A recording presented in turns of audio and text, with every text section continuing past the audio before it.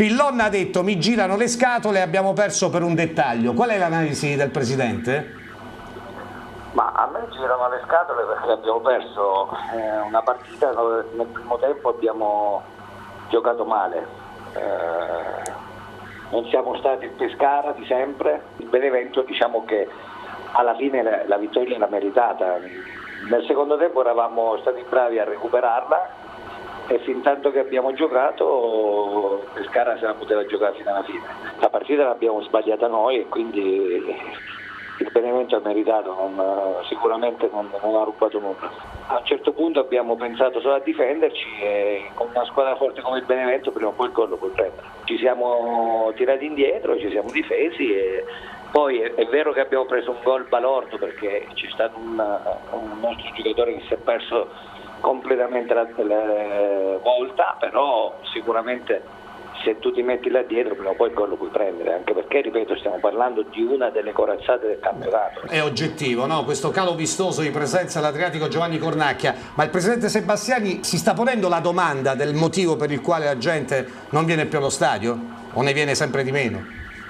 Ma io credo, Massimo, io credo che al di là della simpatia e dell'antipatia verso il Presidente Credo che oggettivamente Pescara sia una città come tante altre che offrono tante cose e non, non solo il calcio e quindi mentre in piazze dove non c'è nulla e c'è solo il calcio la gente la domenica aspetta la partita per passare la mezza giornata, a Pescara c'è tanto altro da fare, quindi a meno dei momenti, a meno di quelli che sono sempre con noi, perché anche oggi a Benevento c'era eh, un bel gruppo di tifosi che hanno seguito la squadra e a meno dello zoccolo duro che ci sarà sempre all'Adriatico, gli altri arriveranno quando ci saranno le belle giornate e se la squadra continuerà a fare bene. L'anno di Otto, se guardiamo i numeri, perché poi noi guardiamo i numeri, eh, la gente è arrivata allo stadio quando noi, non vi dimenticate che dopo Termini eh, allo stadio eravamo in eh, 25. Sì, col Como in casa, questo me lo ricordo la gente è arrivata come sempre mm. quando c'è da, da, condividere qualcosa di bello, sono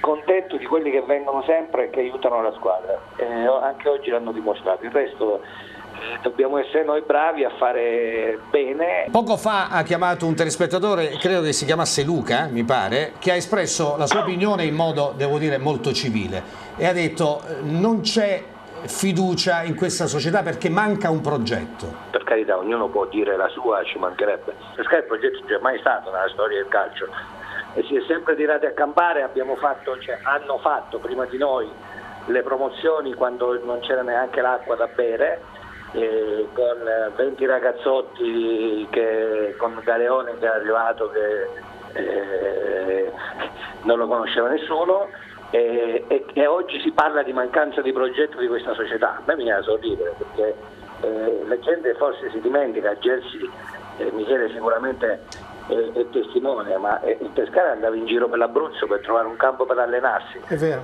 noi, sì. abbiamo, noi abbiamo un centro sportivo invidiabile, abbiamo un convitto dei ragazzi che fa paura, abbiamo una, un settore giovanile che è, è il nostro fiore all'occhiello. Abbiamo la primavera che è prima in classifica e noi non abbiamo un progetto. Eserciterete la clausola per la conferma di Pillon?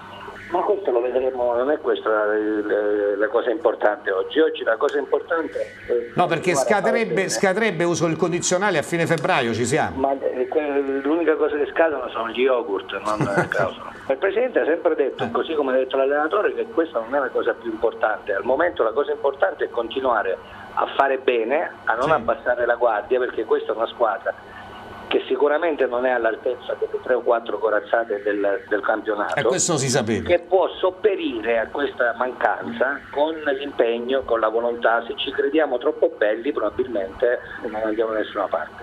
Allora, se ragazzi... Ma oggi ha sbagliato più l'atteggiamento la squadra o più la prestazione?